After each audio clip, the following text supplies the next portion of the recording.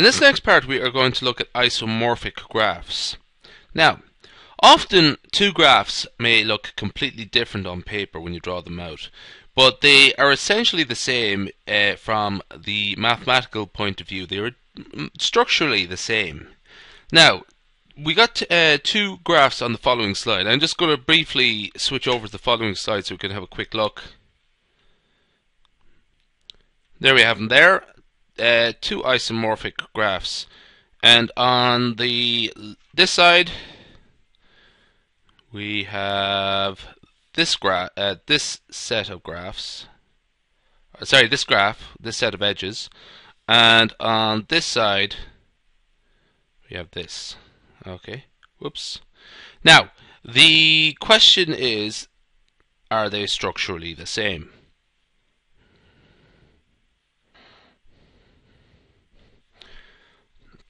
Now, these graphs are the same. They have the same uh, vertices, the same edges, and the same edge to endpoint function. Okay. So if we label the vertices on edges on the graph on the next slide by the following mappings, uh, the graphs will be shown to be the same. So we have the vertices here and the edges here. So we're going to show that the edges and the vertices correspond. So first off, let's look at the edges. I'm going to sort of uh, draw develop correspondence. So I'm going to state that vertex 1 over here corresponds to vertex A over here. And if that is the case, then vertex 3 must correspond to vertex B in that they are adjacent. And they are adjacent by the uh, they are adjacent by A1. They're adjacent by A1 or on this side E E2. Okay, so what I'm saying is that I'm just going to go draw it here. This is this corresponds to A. This corresponds to B and this edge here corresponds to E2. Likewise over here we could say that 2 corresponds to uh, 2 corresponds to C. Necessarily 4 corresponds to D. And we uh, then conclude that A2 corresponds to edge E1 now, there's a number of ways I could have done that there, but essentially that's how uh, it works.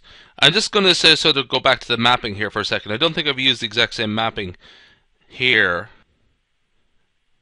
but it's more or less something like this uh, with is what we're trying to construct. So develop correspondence, develop a mapping between the vertices on one graph and the vertices on the other graph, and likewise do the same thing for the edges. Structures as in graphs that are the same except for labeling essentially are called isomorphic structures. Iso essentially gives is the same is the same as saying the same as and morphic morphic means shape so the same shape.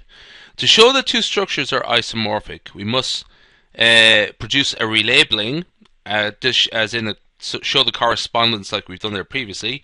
One to one onto mappings between the elements of the structures and then show that the important properties of the structures are preserved under labeling. I'll just give you a quick example of that. Graphs are in, in graphs, paths and loops and cycles and so on. That's what I mean by properties. Now, in cases of graphs, the elements are edges and vertices. Now, the important property in a graph is which is which edges connect to which vertices is connected it, it, which edges connect which vertices. And again you can extend that as I sort of said to cycles and paths and stuff like that.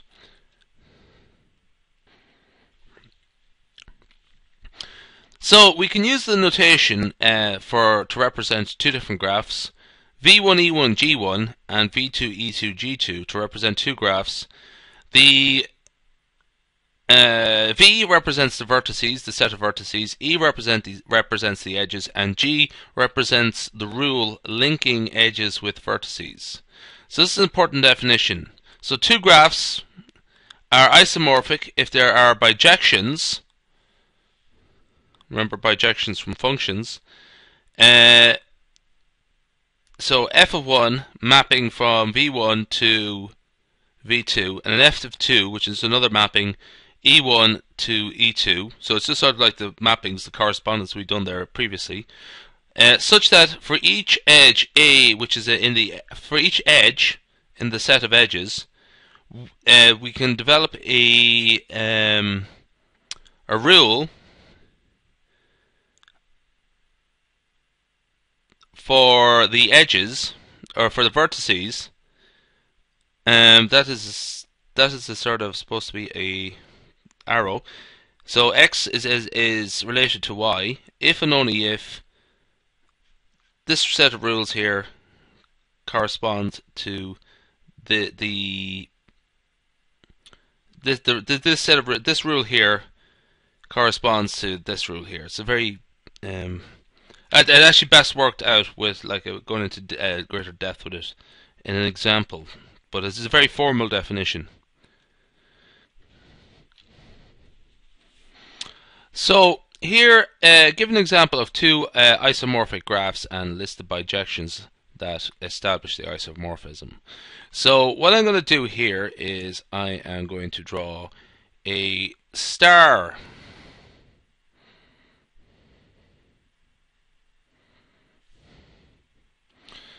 graph. It's just a sort of informal name for something like that. And I'm going to uh, label the edges like this A, B, C, D, and E in the center. And on this side, I'm going to do something similar.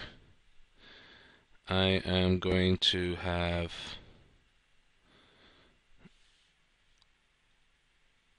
something here, uh, start up here, and one, two, three, four.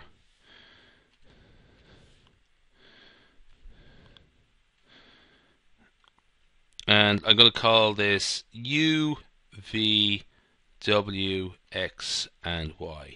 Okay. So, what we're going to do is try and develop a correspondence. Now, first off, you might notice that E is is adjacent to four different, four other um, vertices. So I'm going to state that E corresponds to U. Okay. Now, we can take our pick with the rest of them because we I've done the hard part there. That uh, we can sort of say that V is connected back to U and D is connected back to E. So we can uh, state that V E or let's put D is related to V. And we can do the, the same for the rest of them. A is related to W, B to X, and Y to C. And we can name the edges there, the corresponding edges, and do the same thing there. So that is a quick example there. It's a very basic example. The examples you'll be dealing with are probably a bit tougher. Because it's not always easy to establish if two graphs are isomorphic or not. An exception to this case is the cases where graphs are simple, sort of like what I've just done there a second ago. In this case, we need to check if there is a bijection, a rule that links the vertices of one graph to another, which preserves adjacent vertices, um, such that the uh, if a pairing of vertices are adjacent in one graph, then the corresponding uh, then the corresponding uh, vertices in the other graph are also adjacent. That there's a sort of a, a, similarity there. Now, if the graphs are not simple, we need more sophisticated methods to check if they're isomorphic or not. And however, this is often straightforward to show. It's often straightforward to show that they're not isomorphic. So uh, proof the opposite. And you can do this by showing if any of the following seven conditions are true.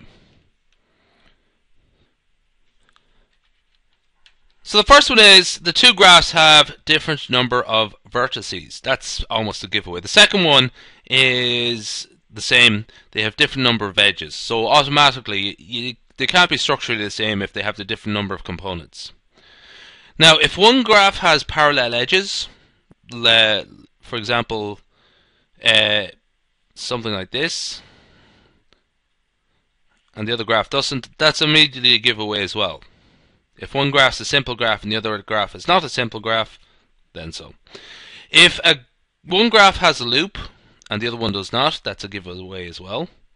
If one graph has a vertex, uh, vertex of degree uh, k, for example, something like degree 4, and the other does not, if it has the vertex, uh, the highest vertex uh, degree of a vertex is 3, automatically that's a giveaway as well. So you can check a thing called the degree sequence. One graph is connected and the other one is not.